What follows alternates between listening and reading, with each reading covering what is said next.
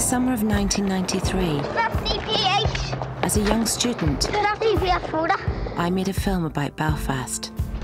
That summer, there was little sign of an historic ceasefire on the horizon. After almost two decades of peace. What about getting jobs? Is it hard to get a job? Very, very hard um, to get work around here now. I I still live in the same house and my mum still lives across the road from me. To see how their lives have changed. Brings back memories. We split about a year and a half later. Oh, won't you stay with me?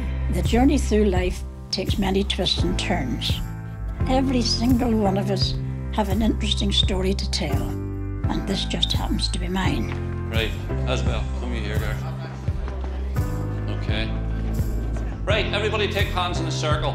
Everybody advance the tire twice, and everybody swing. I want some shoes to set my feet a dancing, dancing, dancing, dancing all the day. Shoes to set my feet a dancing, dancing, dancing all my cares away. More and more of us here in Northern Ireland are choosing to work at night. Over the course of one single night last year, we followed some of those people who have turned their backs on the normal 9 to 5. My job for the rest of the night is making sure the staff answer the phones when they ring, otherwise we miss calls, and that doesn't go down well. Hello?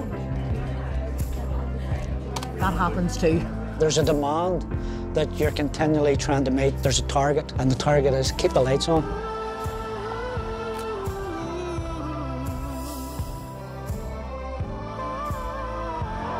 I can't believe we're 11 because it's like we're getting older and older and we're like the oldest in the school and all. I think when you first see them born and the problems that they had and what you went through to now and you think, wow.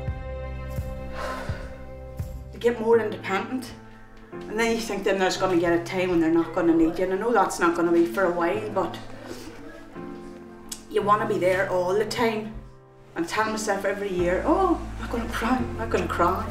Love you.